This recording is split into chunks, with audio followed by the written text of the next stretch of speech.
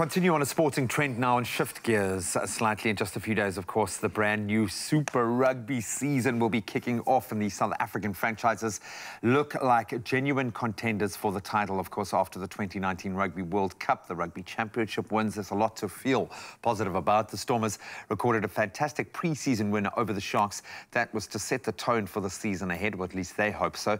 Their fantastic performance in that match earned them our pick for the team of the week this week, and this is what happened when I had the opportunity to meet up with John Dobson and the team at Newlands.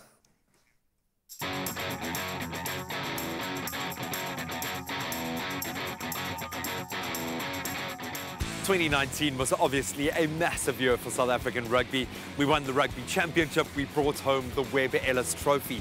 But it begs the question, can that translate into Super Rugby success for 2020 after very much a below-par season for most of the South African franchises last year, in particular a Springbok-laden Stormers side.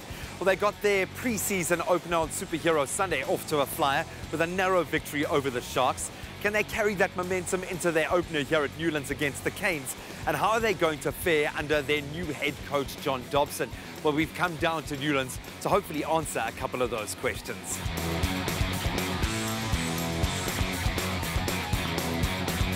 Keeping a watchful eye, team's looking good. John, uh, welcome to the top job. How are you settling in?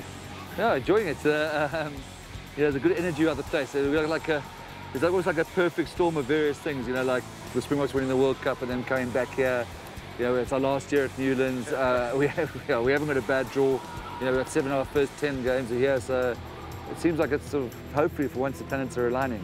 Just looking at the practice session now, yeah, you can see the players are pumped, but incredible balance, some exciting, very quick youngsters. You talk about the core of those Springboks, the stalwarts like Dillyn Leyds. What do you need from those senior players this season? I think it's, it's key to this game management and maturity because Herschel Jantjies and, uh, and Damian Willemse got potential to be the next Gregan and Larkham. Sure. But they, you, I think they've got their own admission, their game management or it's not there, it's just not, not experience, yeah. yeah. So Dillyn and that's uh, got to bring, Dillyn's got to bring that. That's why Jamie Roberts is here. I know you're probably going to get to that. Yeah. Jamie's here because, you know, if a youngster like Rikus Pretorius is going to be a magnificent centre, but outside Damian Willemse might get, you know, he's got a 92 test veteran outside, it makes it a little bit different, you know. As well as the veteran Welsh centre, the team boasts World Cup winners Bongi Mbonambi, Frans Malherbe, Steven Kitshoff, Siya Kolisi, Pieter-Steph du Toit, Herschel Jantjies and Damian Willemse. We've got sort of a, a, leadership group going at the moment with a couple of couple of guys and we know what's expected, you know, we, we have to be the ones setting the standards, whether it's on the field or off the field, you know, our behaviour sets the tone. And uh, we've got the, a theme we want to live by is this, this campaign is to get Cape Town smiling. And you know, we, we as the seniors, you know, what Dobbo said to us, you know, the way we train, you know, the way we play, where we act, you know, interact with, with our fans and, you know, the little kids or whether it's an old lady coming up to you just to say congratulations or well done in the weekend's game, you know, the way we interact, you know, the, the, the young guys are just going to feed off that and, you know, that's how hopefully we'll get people to come to Newland to support us and I will get Cape Town smiling again.